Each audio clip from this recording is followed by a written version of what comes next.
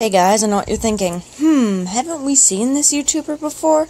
Well, we we don't talk about that.